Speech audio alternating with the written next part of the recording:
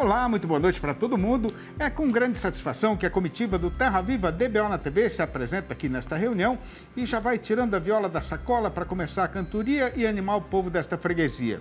E para não demorar na porfia, a gente já, já anuncia a apresentação da nossa prosa abrideira do dia. Terminou neste final de semana em São José do Rio Preto, no Noroeste Paulista, o primeiro turno da Expo Direto, eh, da Expo Rio Preto 2023. O grande destaque desta edição foi o Intertech Agro, espaço dedicado aos negócios e debates técnicos. Confira. O recinto de exposições Alberto Bertelli Lucato, em São José do Rio Preto, interior de São Paulo, recebe a edição comemorativa de 60 anos da Expo Rio Preto. A feira espera movimentar mais de 10 milhões de reais em negócios. Nossa estimativa é de 10 milhões de negócios. A gente acredita que vai ser mais, mas também estamos apurando as ferramentas para medir isso da mesma maneira que a Grishow mede. A gente quer saber exatamente quanto gerou de negócio aqui para atrair mais patrocinadores, atrair mais expositores e crescer a nossa exposição. O grande destaque deste ano é o Intertech Agro, um espaço dedicado aos negócios e com uma programação repleta de especialistas e temas relevantes para toda a cadeia produtiva. A gente tem aí dados não só de sustentabilidade, mas de ESG como um todo, né? Os pontos que a gente tem que atacar para melhorar uh, todos os quesitos de ESG. A gente pretende que isso seja um marco né, principalmente dessa comemoração. São painéis cada dia com uma cadeia produtiva específica, né? E várias empresas que acompanharam esse movimento estão aqui conosco, né? Também trazendo os seus profissionais, os seus especialistas, no intuito da gente fazer esse link do produtor que já está aqui lá na pista de julgamento com seus animais, ter a oportunidade também de ter um conteúdo de qualidade e, inclusive, trocar ideias com o pessoal que está aqui das empresas. Mais de 3 mil animais vão passar pela Expo Rio Preto para as exposições, julgamentos e leilões, consagrando a feira como a maior de pecuária do estado de São Paulo. Entre os eventos oficiais, destaque para a vigésima exposição nacional da raça Cindy. É um marco né, aqui para essa exposição do São José do Rio Preto a gente poder trazer uma grande amostra da raça Cindy nessa nacional. Né? Então, é, hoje a raça está extremamente bem equilibrada, eu acho que a raça Cindy evoluiu bastante. Você está vendo aí belíssimos animais nessa, nessa primeira categoria que simplesmente acaba de começar.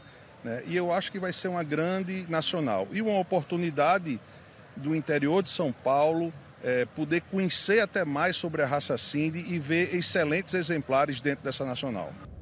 Além de negócios e conhecimento técnico, o evento oferece até o dia 15 de outubro atrações e muita gastronomia para toda a família, como a Feira Sabor São Paulo, com uma diversidade de produtos artesanais. A gente trouxe um pouquinho da Palmitolândia, que é a nossa, a nossa fazenda, que a gente abriu para o turismo, planta o palmito lá em Iporanga. E para cá, para essa feira bacana, a gente trouxe tudo de palmito. Então, tem sushi de palmito, tem o cavernoso, que é um palmito recheado com carne, com queijo, queijadinha, brigadeiro e a cerveja de pupunha feita com doce de pupunha. A gente desenvolve tudo lá na fazenda é, e a ideia é aproveitar o palmito do tolete até o talo. Então, bora palmitar conosco aqui na feira. O Terra Viva DBO na TV faz agora um intervalo ligeiro e volta já. Aguarde.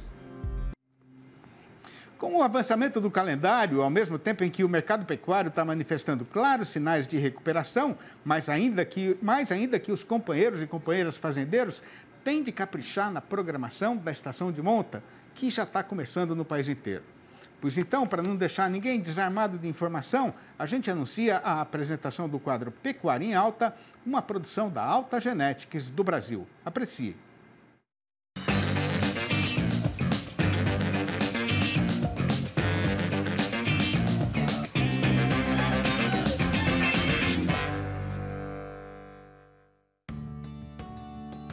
Durante a AgroLeite 2023, a Alta apresentou o maior software mundial de gerenciamento de rebanhos leiteiros, que agora está disponível na palma da mão dos produtores brasileiros. A AgroLeite é uma das principais feiras do país e ela é muito especial porque ela é uma feira que aborda muito tecnologia. E a Alta acredita em tecnologia. Tanto é que o nosso portfólio é extremamente tecnológico. Né? O melhoramento genético, reprodução já são tecnologias de uso em larga escala no Brasil, que trabalham uma solução uh, para o produtor em termos de aumento de produtividade muito importante, mas a Alta também ela traz produtos extremamente inovadores, como o colostro em pó, uh, o software, né, a VAS através do Dairy Comp, do My Dairy Comp, o MyDC, e também o Alta CowWatch. E para o produtor isso é extremamente interessante, aproximar dessas tecnologias, entender a aplicação delas e ver o tanto que a Alta leva soluções completas para o produtor uh, através de todo o seu portfólio. Essa feira é uma feira muito especial porque ela nos dá a oportunidade para conversar uh, com todo esse público, um público maciço que vem até aqui à feira conhecer uh, tudo que tem de novidade aí dentro do mercado de leite e a Alta ela não deixa nada a dever porque ela faz essa entrega de forma muito brilhante e garante ao produtor o sucesso dentro do seu negócio. A vitrine da tecnologia do leite na América Latina foi o lugar escolhido pela Alta para o lançamento oficial do Dairy Comp do Mais de Sion Pulse. Em parceria com a Vaz, a equipe da Alta trouxe para o Brasil o software de rebanho leiteiro mais confiável do mundo. Para nós da Alta um prazer muito maior de estarmos lançando aqui o Dairy Comp. Aliás, estamos lançando no Brasil, porque é um sucesso mundial, um programa que já está em mais de 50 países, considerado indiscutivelmente o melhor software de gestão de fazenda leiteira do mundo. Basta dizer que mais de 60% das vacas de leite americanas estão em fazendas que usam o Dairy Comp. Então, trazer esse produto para o Brasil e mais ainda o Mais de Si, que é a plataforma mais moderna existente do Dairy Comp e também a plataforma mais moderna do mundo. Isso para nós é um prazer enorme, porque nós sabemos que mais uma vez vamos estar levando muito mais lucro, muito mais produtividade para os criadores brasileiros. A Alta escolheu AgroLeite para fazer o lançamento do software que é o mais famoso do mundo. Às vezes a gente fala que é o mais famoso, pode parecer uma tonalidade, dar um tom de comercial demais. Mas não, nós estamos falando do software que envolve 63% das vacas leiteiras de todos os Estados Unidos. Se ele tem essa proporção de envolvimento na gestão de rebanhos em praticamente 63% da produção norte-americana, é claro que ele é o melhor e o mais famoso, porque ele também está presente em 53 diferentes países. E a Alta está aqui agora com a VAS, que é a empresa é, que elaborou e que também desenvolve e melhora cada vez mais o Dairy Comp, para trazer esse presente para os produtores de leite brasileiros. Um software de gerenciamento faz todo sentido para a pecuária leiteira no dia a dia. Então o produtor ele tem inúmeras dificuldades no dia a dia é, para tomar decisão, né? Coisas que às vezes não estão no controle dele. Se uma máquina desgasta um pouco mais, se um, um funcionário, um colaborador, né, que está deixando a atividade né, de participar na fazenda, ou até um mercado de, de leite, que às vezes não, o comportamento não é bem o que a gente gostaria. Mas o que está sob controle dele, aí nós estamos trazendo uma solução muito encorpada, né? Essa solução tanto o MyDC quanto o Dairy Comp, né, os dois softwares são idênticos, né, só que um é na nuvem e o outro é instalado na máquina do produtor. Né. São duas soluções pensando em produtores que querem ter realmente um gerenciamento mais de perto. Ele vai alimentar os softwares com informação, com dados, né, melhor dizendo, e vai colher informações precisas, confiáveis e que para a tomada de decisão no dia a dia da fazenda faz muito sentido. Parceiro da Alta de longa data, o gestor da Fazenda Colorado, Sérgio Soriano, usa o Dairy Comp há nove anos. Durante a AgroLeite, o profissional comentou sobre as vantagens do software para os rebanhos leiteiros. A Fazenda Colorado já usa o Dairy Comp há mais de nove anos, né? Aqui no Brasil, sendo a pioneira em usar essa tecnologia de trabalhar com os dados. E a maneira como a gente usa é, tomando decisões muito embasadas em cima de informações coletadas direto na fonte, trabalhada, desenhada e o mais importante, é, de uma forma que a gente transmita ao nosso colaborador a mensagem que nós queremos que de fato ele capture daquela informação. Então eu acho essa familiaridade, essa maneira simples e objetiva de a gente entender o dado, de onde ele vem e qual o impacto que esse dado de fato tem na reprodução, na gestão e no melhoramento da produtividade na fazenda faz toda a diferença. A grande vantagem da gente mensurar o crescimento quando você parte de dados robustos, dados coletados direto na fonte. Você pode sentar com a sua equipe e definir claramente o seu plano de ação. O Dairy Comp ele te ajuda muito nisso, né? Te contando como é que foi o seu passado, mas mais importante que isso, né? Você tem condição de olhar para o seu futuro e definir para onde é que você vai com que tipo de animal, com que tipo de, de rotinas você vai fazer. Então eu acho que essa visão ali na frente é o que diferencia um programa de software para estar tá dentro de uma propriedade, seja ela pequena, média ou grande. É, ele é perfeitamente cabível de acordo com o programa de custo e de compra né, que vai ser comercializado, para que as fazendas realmente procurem dados e consigam entregar um resultado acima da média para aquilo que você realmente precisa como valor na sua propriedade. Ainda na Agroleite, a Alta lançou ao mercado o Alta Lite, soro de reidratação para bezerros, novo produto da pasta de neonatos. A Alta traz para o mercado agora um dos melhores soros de reidratação oral para bezerras leiteiras e bezerras de corte uma oportunidade única de, durante a feira, trocar informações, apresentar o produto que pode ser utilizado em 35 gramas por litro para fazer um litro de solução de reidratação oral, ao mesmo tempo de demonstrar para o produtor a importância de se reidratar um animal que tenha algum caso de doença como a diarreia causadora da desidratação. Foi uma oportunidade muito boa de mostrar mais uma novidade que a Alta tem para o mercado da pecuária de leite e de corte. Seguindo o tema oficial da AgroLeite 2023, a Alta inovou e trouxe tecnologia para a cadeia leiteira do país.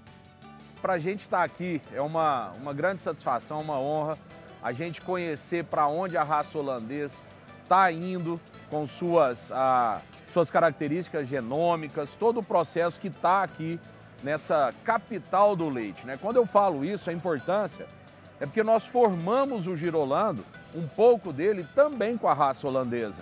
Então nós precisamos ver as tendências, precisamos ver os animais que aqui já se encontram e conversar. Aqui eu acho que é uma exposição onde se respira leite e o leite nacional tem que fazer parte sim.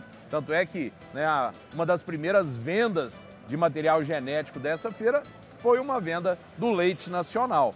Né? Então, assim, se completam. E esse ano, um evento falando de tecnologia, a Alta não poderia ter decidido lançar tecnologias como trouxemos para cá, né? Nós tivemos uma grande oportunidade de lançar aqui no stand da AgroLeite, durante essa excepcional feira, o Dairy Comp, o MyDC, software de gerenciamento de rebanho, o mais reconhecido do mundo e mais utilizado no mundo inteiro, e pudemos disponibilizar para todos os produtores de leite do Brasil. Além disso, tive uma oportunidade de mostrar toda a nossa bateria de touros a todos aqueles que estiveram aqui no stand e fizeram ótimos negócios conosco. Fora isso, a oportunidade de falar da vaca de quatro eventos, o conceito de entregar a você, produtor, aquelas vacas mais rentáveis, aquelas vacas mais saudáveis e que garantem que no final, no final do mês vocês estejam colocando dinheiro no seu bolso. Então, esse é o que a Alta faz procura construir este rebanho de vacas quatro eventos e para isso cada vez mais incorporando diversas soluções ao nosso portfólio. Quer saber mais sobre as tecnologias que a maior central de melhoramento genético bovino oferece para os produtores de leite? Entre em contato com o representante Alta mais próximo e nos acompanhe nas redes sociais. Arroba Alta Brasil Oficial.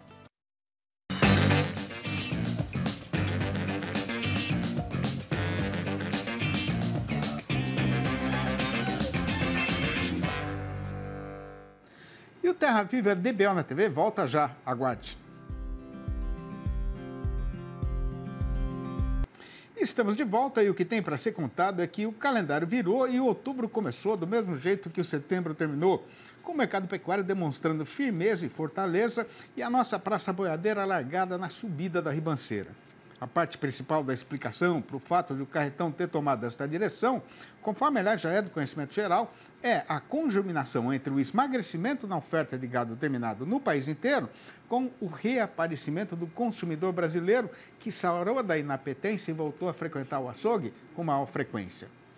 E se esse atual vento altista já estava sendo suficiente para empurrar a cotação no rumo de morro acima, repare, amiga pecuarista, que daqui para frente ele deve ficar mais forte ainda com a chegada do período de pagamento do salário ao trabalhador empregado, né? Aí, juntando a carestia de mercadoria com a volta da freguesia, no comércio de carne com osso no atacado, aqui na Praça Paulista, os preços subiram de novo nesta segunda-feira, com a carcaça casada de macho inteiro indo para R$ 15,56 o quilo, ou 6% a mais do que no começo da semana passada. Pelos mesmos motivos de aumento da procura e dificuldade no abastecimento, a situação também melhorou no setor exportador, com o animal criado e abatido dentro do sistema exigido pelo mercado internacional, aumentando para 240 reais, falando em preço bruto, né? No balanço do dia da Scott Consultoria, o mês começou com mudanças nas cotações em 15 das 32 regiões pesquisadas em todo o Brasil, sendo que dessa vez o boi subiu em nove dessas praças e não caiu em nenhuma, enquanto a vaca teve 11 altas e uma queda. A lista destas arribadas foi puxada por Goiânia, a capital do Goiás, onde a alta foi geral, com o macho indo para 215 reais e a fêmea para R$ 195, a prazo, mas ainda para descontar o fundo rural. Neste mesmo trieiro foi o sul da Bahia, que trabalha agora com o boi a 203 reais e a vaca também a R$ 195. No norte das Minas Gerais, o macho já não sai mais por menos do que 220 reais. No sul do estado, a fêmea arredondou 200 reais. No Espírito Santo, a vaca avançou igualmente para 200 reais. No sudoeste de Mato Grosso, o macho melhorou para 198 reais e a fêmea para R$ 177. No sudeste matogrossense, o boi encareceu para 197 reais. Em Campo Grande, a capital de Mato Grosso do Sul, o fazendeiro está pegando pela vaca 210 reais. Em Dourados, a fêmea foi promovida para 215 reais. No Acre, o comprador paga 190 reais pelo boi e R$ 180 pela vaca. No sul do Tocantins, o preço novo do boi é 205 reais. No Rio de Janeiro, a vaca está custando 205 reais. No noroeste do Paraná, a fêmea pulou para 200 reais. No oeste do Rio Grande do Sul, o boi aumentou para R$ 7,05 o quilo vivo, o que corresponde a R$ 211,50 por arroba, enquanto a vaca foi para R$ 5,70 o quilo, ou R$ 172,50 por arroba. Já em Pelotas, o macho subiu para R$ 7,15 o quilo, ou R$ 214,50 por arroba, mas a fêmea caiu para R$ 6,25 o quilo, ou R$ 187,50 por arroba. Alumiando o escurão da noite do sertão, na alta madrugada, o noturno da Sorocabana passava toda semana no fundo da Fazenda Santana, acordando todo mundo, assustando a gente e toda a raça de bicho vivente, tremendo o chão com barulhão de bateção de ferro mais alto do que o berro de mil bezerros. Hoje ali está tudo abandonado, nunca mais passou trem na linha e o trilho está enferrujado. Na colônia o casario está vazio e não tem mais ninguém.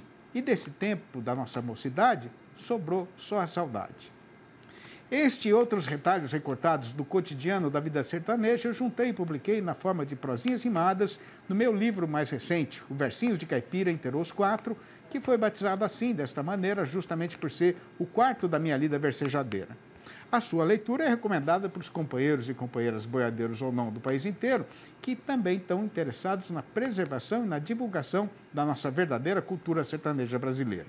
E quem quiser saber como, como fazer para comprar um exemplar ou logo a coleção inteira, pode ligar diretamente para mim, no meu telefone pessoal, que é o 11 98224 1807. Repetindo, 11 98224 1807 ou mandar um e-mail para sidneymástico.uol.com.br. Bom, e na certeza de ter feito direito o serviço que tinha sido combinado, a gente já vai pondo o gado para marchar de novo no estradão e voltar lá para o nosso fundo de sertão, fazendo a despedida e deixando prometida a volta do Terra Viva DBO na TV para amanhã, às seis e meia da manhã e às sete e vinte e cinco da noite. Um abraço para todo mundo e até lá então.